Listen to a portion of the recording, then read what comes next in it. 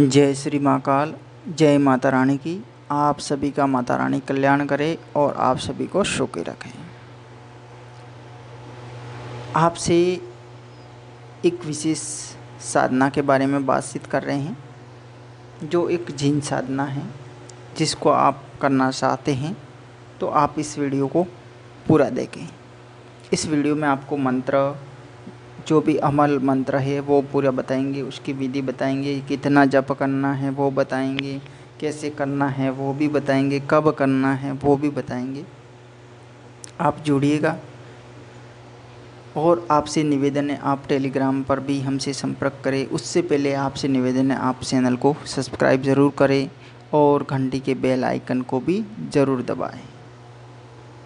आप हमसे बात करने के लिए टेलीग्राम पर जुड़ें और फेसबुक पर हमारा जो भी फेसबुक अकाउंट है, उस पर भी जुड़िएगा। उनका लिंक वगैरह भी इसी ग्रुप में चैनल पर अवेलेबल है।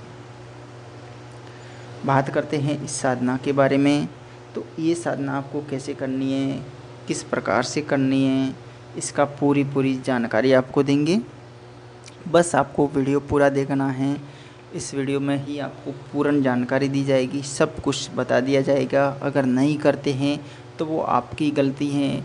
आप किस प्रकार से करते हैं? आपकी मानसिक मानसिक जो चिंतन शक्ति है वो कैसी है? उस पर प्रभाव पड़ता है कि आप साधना में सफल कैसे होंगे। कोई भी साधक है, अपनी मानसिक मानसिक चिंतन शक्ति है, उसको कंट्रोल रखें। किसी के बताए अनुसार ऐसे नहीं सोचना चाहिए कि उसने ऐसा कहा है तो ऐसा हो जाएगा। ये कलयुग है। किसी के कहने से कुछ भी होता है या नहीं होता है, अभी इसकी कोई गारंटी नहीं है। इसलिए अपनी चिंतन शक्ति को सही ढंग से प्रयोग करेंगे तो सब कुछ हो जाएगा। केवल ऐसे सोच के नहीं करना है कि ये साधना इतने समय में करेंगे और ऐसा ऐसा हो जाएगा। अगर आपने इतने समय में उस साधना को की, लेकिन आपके मन में एक ही भाव था कि इतने समय में करनी है तो ऐसे हो जाएगा। आपके मन में वो भाव नहीं था कि वो शक्ति के साथ में आप जुड़ के साधना करें, वो भाव नहीं था। आपके साथ में मन में वो भाव था केवल समय का कि इतना समय देना है, कुछ नहीं करना है। तो ऐसी साधनाओं में कभी भी सफलताएँ नहीं होती है। साधना करने के लिए अपने तन मन को साथ में जोड़ना पड़ता है। कोई मार्ग दिखाता है, लेकिन मार्ग बताता है, लेकिन आखिर उस मार्ग पर चलना अपने को पड़ता है, चाहे पैरों में जूते हैं या नहीं है। अब उसने तो रास्ता दिखाया है कि ये रास्ता जाता है। अब आगे जाके जंगल है, पहाड़ी है, नदी है, क्या है? उसकी व्यवस्था तो स्वयं को करनी पड़ेगी। उसकी व्यवस्था के लिए भी बताने वाला साथ में थोड़ी आएगा। कि चल तेरे आगे नदी आ गई तो मैं पुल बना के दे दूँ। चल तेरे आगे पहाड़ आ गया तो मैं यहाँ से इसको तोड़ दूँ। ऐसे तो नहीं होगा। तो मेरा कहना यही है अगर कोई भी आप साधना करते हैं तो उसमें अपना मन और तन लगा के फिर साधना करें। हम तो केवल हमारी विधि के अनुसार, हम प्रयोग जो भी हैं, मेहनत के अनुसार बताते हैं। उसमें मेहनत तो आपको करनी पड़ेगी। आपका तन है, आपका मन है। अगर ये दोनों आपके उस शक्ति के प्रति जुड़ेंगे, तब आप सफल होंगे। हमारे शब्दों पर जुड़ेंगे तो आप कैसे सफल होंगे? आपको उस शक्ति के साथ में जुड़ना पड़ेगा, तब जाके आप सफल होंगे। चलो बात करते हैं इस साधना की। इस साधना में आपको क्या करना है? कि ये साधना आपको किसी भी नौसंदी बुधवार, गुरुवार या शुक्रवार, इस तीन दिन में से किसी भी दिन आपको शुरू करना है।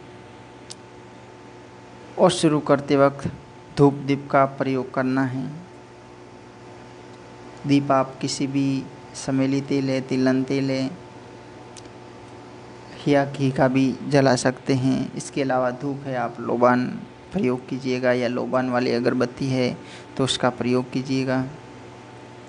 और जब भी साधना करते हैं तो एक कागज़ पर जो भी मैं मंत्र बता रहा हूँ, उस मंत्र को उस कागज़ पर लिखना है और लिख के रखना है। ये साधना आपको रात्रिकालीन में ही करनी है, जब भी आपका आसपास का माहौल शांत रहता है।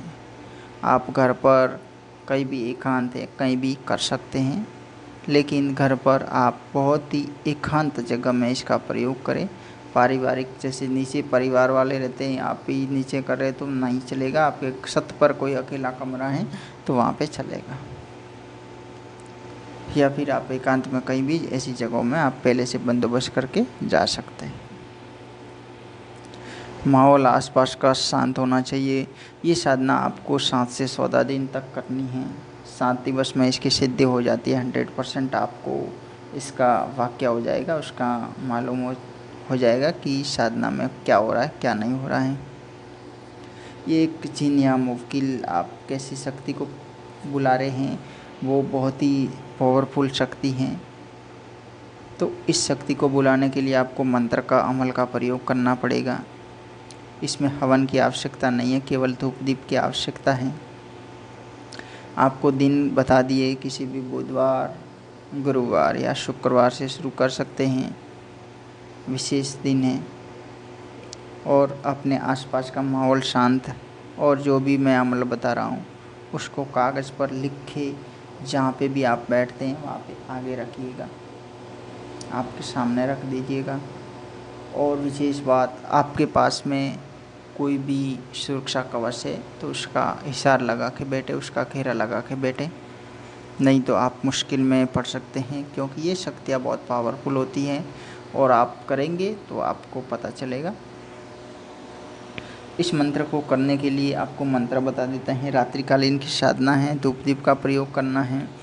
अब इनके भोग के लिए आप क्या है? भोग के लिए आप कुछ मिष्ठान का प्रयोग करते हैं तो बेहतर है, लेकिन आप फूलों का प्रयोग ज़रूर करें रोज़ाना। कुछ आप गुलाब के आसपास में कहीं भी फूल मिलते हैं तो बहुत ही अच्छी बात है, नहीं तो आप दूसरे फूलों का भी प्रयोग करें। अगर गुलाब के मिलते हैं तो आसपास से कहीं भी आप रोज़ाना पाँच दस रुपए के ले आइएगा, ज़्यादा नहीं तो। थोड़े बहुत फूल होने है किसी भी साधना में। वहाँ का माहौल कुछ अच्छा बनाने के लिए धूप अच्छा प्रयोग में करना चाहिए। मंत्र सुन लीजिएगा, आपको मंत्र बता देते हैं। ये रात्रिकालीन की साधना है, ध्यान रखना। और जब भी करते हैं तब अकेले करना। और सुरक्षा का भी ध्यान रखना। अगर सुरक्षा का आप ध्यान नहीं रखते हैं तो किसी भी प्रकार की कोई भी घटना होती है तो जिसके ज़िम्मेदार हम भी नहीं हैं और हमारा यूट्यूब चैनल भी नहीं है, हम केवल जानकारी मात्र और नॉलेज मात्र से बता रहे हैं। जो भी करना है, आपको करना है। अगर आपको इसमें परेशानी होती है तो आप स्वयं इसके ज़िम्मेदार हैं। अगर आप हमसे संपर्क करना चाहते हैं तो आप टेलीग्राम पर संपर्क करें या फेसबुक पर संपर्क करें। आप, हमारे कोई भी व्हाट्सअप नंबर वगैरह अवेलेबल नहीं है। हमसे टेलीग्राम ग्रुप पर बहुत से लोग साधनाएँ लेते हैं, हम उनको दे रहे हैं। आप भी जुड़ के साधनाएँ ले सकते हैं। विशेष प्रयोग है, ऐसे अब कोई ज़्यादा पावरफुल शक्ति है तो उसकी सुरक्षा अनिवार्य है। अगर आप सुरक्षा नहीं करेंगे तो आपके साथ में कुछ भी घटना घटित हो सकती है। मंत्र सुन लीजिएगा। ये साधना करने के बाद में आपको क्या लाभ होंगे ये भी मैं आपको बता देता हूँ। ये साधना करने के बाद में आप क्या करना चाहते हैं वो आप पर निर्भर है। आप उसको कैसे इस्तेमाल करते हैं? साय, किसी भी दुश्मन के पीछे, किसी को फंसीकरण में, किसी का कुछ उल्टा सीधा करने में तो सब काम हो जाता है। सुनिएगा मंत्र रहीम या फिरौन हाजिर हो। ये इस्लामिक साधना है जिनकी इसको आप ज़रूर करना करेंगे तो आपको पता चलेगा कि ये साधना कितनी पावरफुल है। सात से चौदह दिन तक करनी है सौदा माला कम से कम प्रतिदिन आपको जप करना है। माला में आप किसी भी हकीक का नीला या काला हकीक का प्रयोग में ले सकते हैं या वाइट हकीक भी ले सकते हैं। माला हकीक की ही होनी चाहिए। दूसरे कोई भी प्रयोग माला ना करें। केवल हकीक की माला ही प्रयोग में लिए। मंत्र दोबारा सुनिएगा। रहीम या फिरौन हाजिर हो। ये मंत्र है।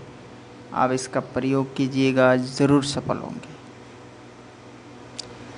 इसको रोज़ाना कागज़ पर लिखना है। आपको जब भी ये साधना करते हैं, कागज़ पर लिख के सामने रखिएगा। फिर उस कागज़ को पूरी रात अपने तकिए के नीचे है, आप रख सकते हैं। फिर जब भी सुबह उठते हैं तो बिना कुछ बोले उसको याद करके ये मंत्र है। इसको सात बार कम से कम पढ़ के आप उस कागज़ को जला दें। और जब भी जलाए, तब इसको कोई देखे ना। और उसी जगह पे, उसी कमरे में जहाँ पे भी आप सोते हैं, वहीं जला दीजिएगा। जहाँ पे आप साधना करते हैं, वहीं जला दीजिएगा। ऐसा करने से ये शक्ति बहुत ही जल्दी आपसे संपर्क करेगी। अब आपका दिल कैसा मज़बूत है आप उनसे संपर्क कर सकते हैं या उनसे डर के मर सकते हैं, इसका हमारी कोई गारंटी नहीं है।